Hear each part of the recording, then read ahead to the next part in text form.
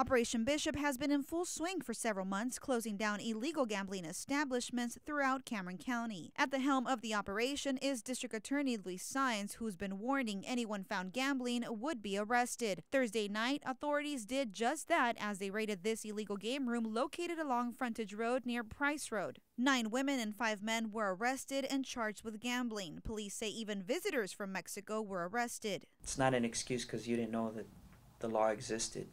Uh, you have to be aware of what the laws are here, and anyone that gets caught in their gambling, uh, or everyone that got caught there gambling, was arrested, regardless if they knew about the law or not. DA spokeswoman Melissa Zamora tells Action 4 this game room was receiving electricity and water from the Rose Garden Inn Motel and Toucan Lounge. Since they were allegedly aiding the illegal establishment, Zamora says the DA's office will seize these properties. We're aware now that the gambling has gone, what you would say, underground, uh, neighborhoods, uh, places you wouldn't think that an establishment would be open.